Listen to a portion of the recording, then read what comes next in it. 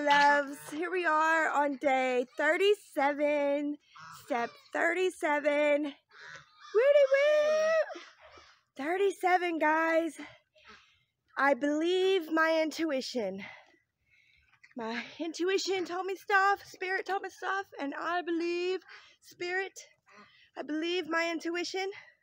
I believe that it's all good. All good in the hood. Or all good in the woods. Yeah, step 37, guys. Here we are at the very final stretch, final leg. You can see the finish line from here. So that is wonderfully awesome. And we're on step 28, Libra, which is, whew, that's one of my harsh days. But I've learned how to love and trust. I've learned how to tap into my feelings. I've learned how to let my feelings decide if it's right for me or not. And these step 28 days have gotten a lot easier. You know, it's about loving and it's about trusting. And help the kitty.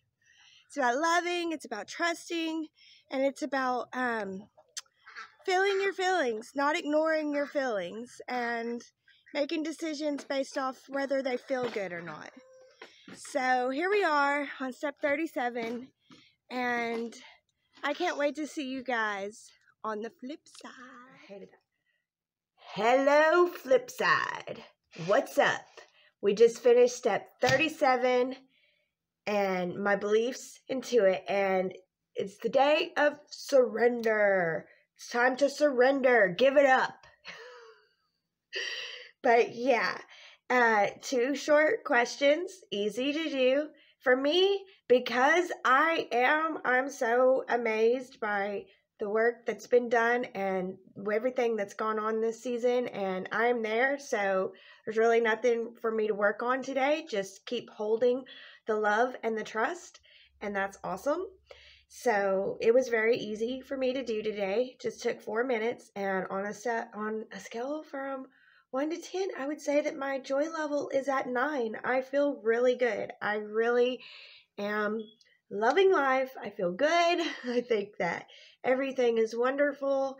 And I have grown a whole lot in just this last 37 days, you know, almost 40 days. Wow.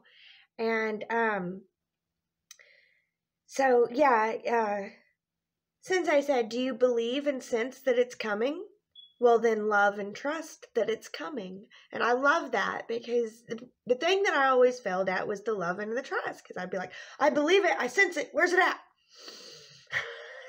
And throw a big fit and it's ridiculous because all i needed to do was love and trust that it's coming in its own in its divine timing and that's one thing that i've learned working with spirit is that things come at the right time and let them come at the right time.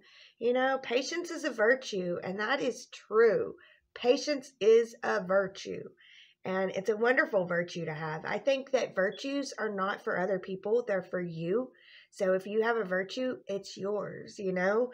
So yeah, I'm going to be patient. I do. I love and I trust. I mean, I already feel like I'm there with my joy level. I feel so good and so joyful. And I feel like I'm there with my outer goal too. And I really am. I can't decide what to do with my hair. I really am happy about it. And I'm feeling the joy. Yeah, I don't know. It's about love and it's about trust. So we're just gonna love and we're gonna trust and we're gonna see what comes. Yeah, it's about love and it's about trust. And we, I'm just gonna keep on loving and keep on trusting because I do sense and I do believe that a higher level of joy is very much possible and it is a beautiful thing. So I can't wait to see you guys for step 38.